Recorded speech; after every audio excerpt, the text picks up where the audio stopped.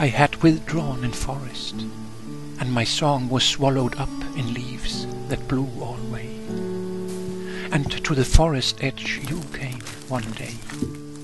This was my dream, and looked and pondered long, but did not enter, though the wish was strong. You shook your pensive head, as who would say, I dare not, too far in his footsteps stray. He must seek me, would he undo the wrong. Not far, but near, I stood and saw it all.